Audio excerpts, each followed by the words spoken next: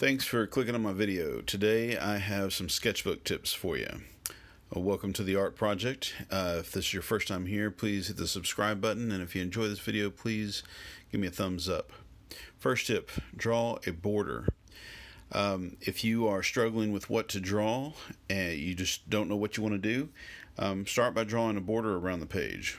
Uh, the simple act of putting your pen to the paper uh, gets your uh, juices flowing and get you um, geared up for what to do. So here's a little demonstration. Usually what I do is I take um, first a pen or a pencil, uh, whichever you want to use, and I hold it in my hand in such a way that two of my fingers create sort of a uh, groove that I can ride on the side of the paper with. So it's almost like a train wheel on a train track. And I put my pen down where it goes where I want it to be at, and I use my f- fingers to just ride the very edge and very corner of the paper like this.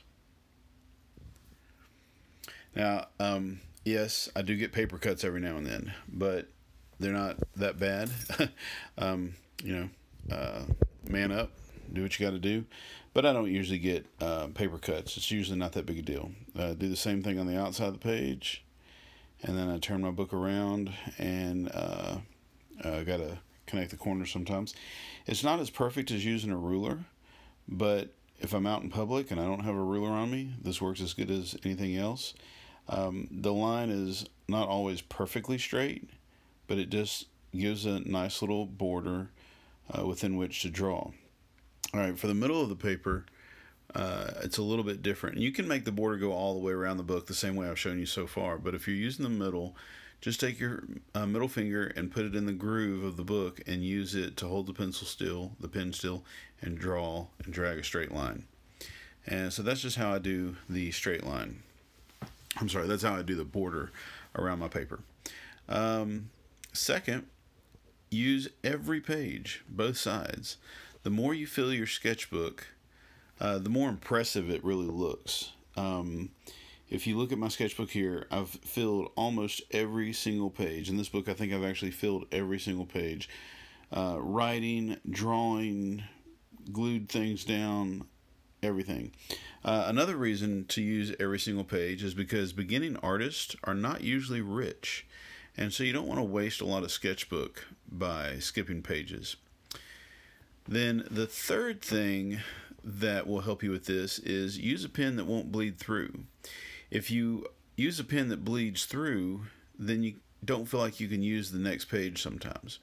Um, a ballpoint pen works good. A pencil works good. Uh, neither one of those things bleed through. The problem with the pencil is it smears and so kind of gets on both pages um, when you close it, but that's okay too. Just go ahead and use a pencil. Uh, my favorite uh, pen really is the Sharpie pen. It doesn't bleed through like regular Sharpies. It's got a nice fine point on it, and it's inexpensive.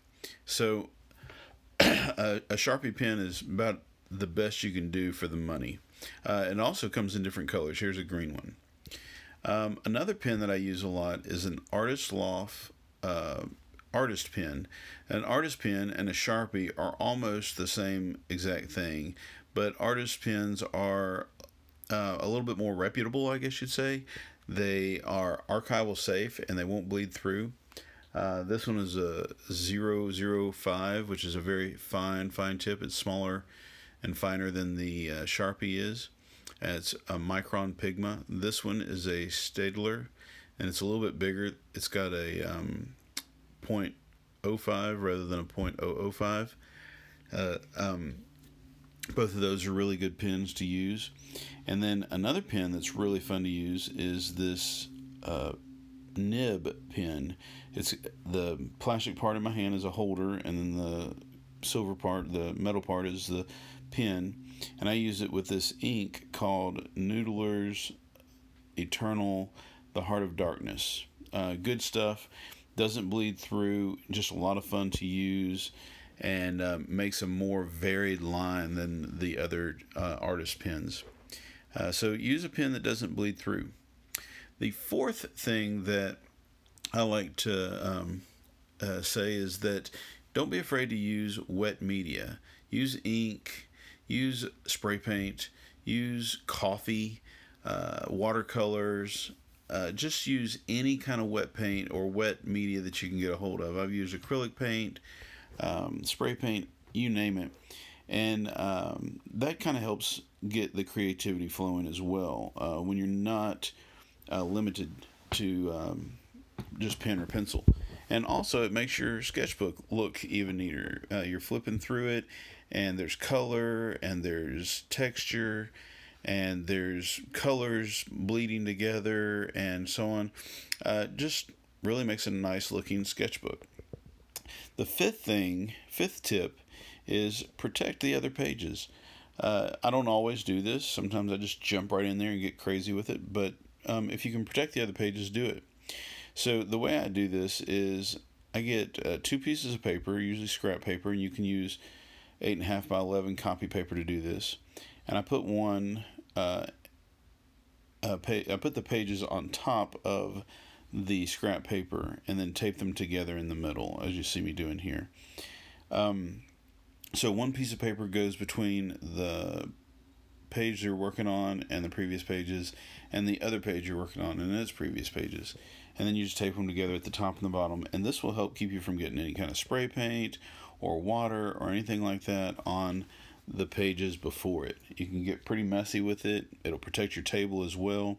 Just be sure and kind of drag the brush off of the paper and not back on. If you drag the brush onto the paper, you'll smush paint up under the um, two pages or up under the page and you don't really want to do that. Just drag the brush off of the page. Uh, you can also use spray paint or um, flick ink on it or glue stuff down, um, but protect the other pages this way. The sixth thing, the sixth tip that I want to give you is glue, smear, cut, paint. Just do everything. You can see a few pages here. I've glued stuff down uh, glued previous um, pictures that or reference pictures, glued ideas down, um, images that struck my fancy, smeared stuff, um, did collage work, uh, all sorts of things to uh, create um, interest and be creative and um, receipts, everything. Just glue anything down, cut anything out don't be afraid to abuse your sketchbook. It's like the one thing that you can abuse and not be that big a deal when you're done. Um, looks good. Uh, here's a page where I glued a photograph down, and the photograph I only glued it on one half, and so it ends up making a full new sheet basically in there. Here I've cut one out, and it's kind of got a window in it. So let's review. Draw a border, use every page, use a bleed proof pen, use wet media, protect the other pages, glue, smear, cut, paint, etc. Hope you enjoyed this video. If you liked it, please give me a thumbs up, leave me a comment down below, and uh, see you next time.